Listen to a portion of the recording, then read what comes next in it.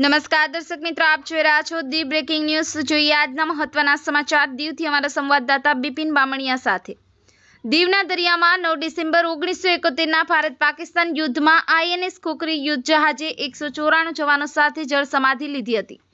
મૃતક તમામ નૌસૈનિકોની આત્માની શાંતિ માટે દીવ કલેક્ટર અને નૌસેનાએ પ્રાર્થના અને ભાવભીની શ્રદ્ધાંજલિ આપવામાં આવી.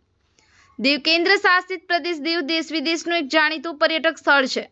નવ ડિસેમ્બર ઓગણીસો એકોતેરમાં ભારત પાકિસ્તાનના યુદ્ધ દરમિયાન પાક સબમરીને ભારતીય યુદ્ધ જહાજ આઈએનએસ ખોખરી ઉપર દીવથી ચાલીસ નોટિકલ માઇલ, એ મતલબ એકસો વીસ કિલોમીટર ઊંડા દરિયામાં હુમલો કર્યો હતો. ભારતીય યુદ્ધ જહાજોએ પાક સબમરીને નુકસાન પહોંચાડ્યું હતું, તેથી તેઓ સુરક્ષિત જગ્યા શોધી અને દીવના દરિયામાં સંતાયા હતા. પરંતુ ભારતીય યુદ્ધ જહાજ આઈએનએસ ખોકરીને જોઈને તેઓએ છ કિલોમીટર દૂરથી તોરપીડો દ્વારા જહાજ ઉપર હુમલો કરી રાત્રિના આઠ પિસ્તાલીસ કલાકે આ હુમલો થતા માત્ર પાંચ મિનિટમાં જ જહાજ ડૂબવા લાગ્યું. અચાનક હુમલો થતાં અંદરના જવાનો બહાર નીકળી શકેલ નહીં, તેથી એકસો ચોરાણું નૌસૈનિકો શહીદ થયેલ અને સિત્તેર નૌસૈનિકો બચી ગયેલ. કેપ્ટને હુકમ કરી લાઈફ રાઇટમાં બેસાડી દીધેલ અને ભારતીય નૌસેનાનો નિયમ છે કે જ્યાં સુધી બધા નૌસૈનિકો જહાજમાંથી બહાર નીકળ્યા બાદ જ કેપ્ટન જહાજ છોડી શકે છે. એક પણ જવાન જહાજમાં હોય ત્યાં સુધી કેપ્ટન જહાજ છોડી શકતો નથી. પોતાના જવાનોને ડૂબતા જોઈ પોતે પણ કેપ્ટન મહેન્દ્રનાથ મુલ્લા મહાવીર ચક્ર મેળવનાર પણ જહાજની સાથે જળ સમાધિ લીધી. દીવ ખાતે ભારતીય યુદ્ધ જહાજ આઈએનએસ ખોખરીનું મેમોરિયલ બનાવવામાં આવ્યું છે એકસો ચોરાણું નૌસૈનિકો શહીદ થયા હતા તેની યાદમાં દીવમાં આઈએનએસ ખોખરી મેમોરિયલ બનાવવામાં આવ્યું છે શહીદ નૌસૈનિકોને દર વર્ષે શ્રદ્ધાંજલિ આપવામાં આવે છે bureau report Bipin Bamaniya Dev breaking news Ramesh સત્યની સાથે अच्छा आज नाइन दिसंबर है ये जो दिन है हमारी नेवी अ, की शहादत को याद करने के लिए है अ, आज के दिन हमारे जो शिप था एन एस कुकरी अ, इसमें हमारे काफ़ी नेवी के जवानों ने देश की सुरक्षा के लिए बलिदान दिया था। तो उस शहादत को स्मरण करने के लिए, याद करने के लिए हम हर साल यहाँ पे स्मारक में और शिप में आते हैं और इनको जो श्रद्धा सुमन है वो अर्पित करते हैं। ये हमें अपने देश के नौसैनिकों पे और जवानों पे गर्व है कि इनके कारण आज हम यहाँ पे सुरक्षित हैं और दिल में इनका जो मेमोरियल बना है बिकॉज़ ये जो हुआ था जो हमारे शिप के ऊपर ये जो हुआ था, वो यहाँ पे दिल में हुआ था। इस कारण यहाँ पे इनका मेमोरियल बना है। एंड हमें खुशी है कि काफ़ी लोग यहाँ पे आते हैं और मोटिवेट होते हैं इस चीज़ को देख। ये हमारे 194 जो सोल्जर और अपने ऑफिसर्स थे तो उनकी याद में ये रखा गया था प्रोग्राम इस प्रोग्राम में कलेक्टर मैडम ने आके अपनी इस प्रोग्राम की शोभा बढ़ाई और उनको श्रद्धांजलि दी। तो ये ये हुआ कब था कि ये 1971 में जो वार हुआ था इंडिया और पाकिस्तान के बीच में तो उसमें हमारी जो खुखरी शिप थी, उसने अहम रोल निभाया था।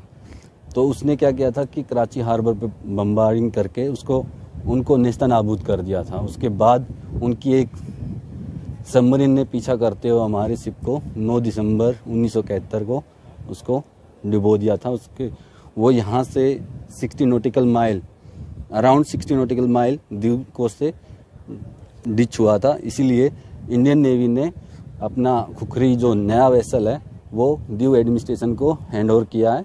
अब जो आज के टाइम पे एज ए म्यूज़ियम स्टार्ट हुआ है।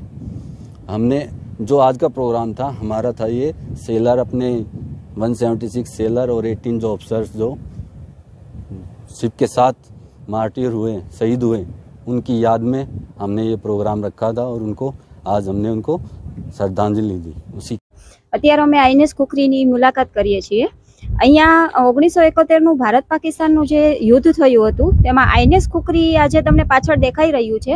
એ જહાજ છે, એમને પાકિસ્તાનના પાકિસ્તાનીઓએ નવ નવજવાનો સહિત એમને જળ સમો જળ સમાધિ આપી દીધી હતી.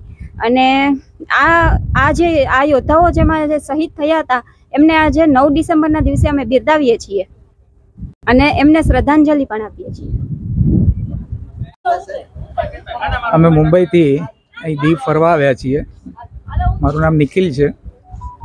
આજનો દિવસ એ છે જે આપણને બધાને યાદ હશે કે ઓગણીસો ને એકોતેરમાં આપણા વીર જવાનોએ પાકિસ્તાનના બેટ જે ટુકડા કર્યા હતા, એમાં આપણી આઈએનએસ કુકરીએ બહુ મહત્ત્વનો ભાગ ભજ્યો હતો. આઈએનએસ કુકરીએ કરાચી પર જઈને કરાચી પર બોમ્બારો કર્યો. એ લોકોની ત્રણ ચાર જહાજોને ડૂબાડી દીધા અને ત્યાંથી પાછા દીવ આવી રહી હતી.